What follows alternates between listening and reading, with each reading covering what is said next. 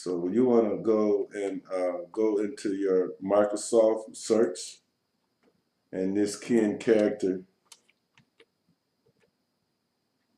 There it is, character map right here.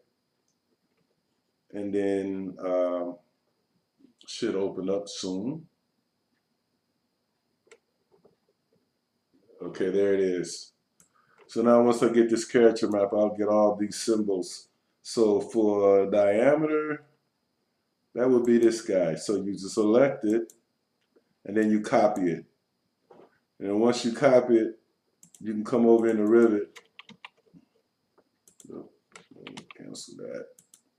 You come in a Revit in this text and you can just go and pull that over like so and just right click and paste. And there's our diameter symbol.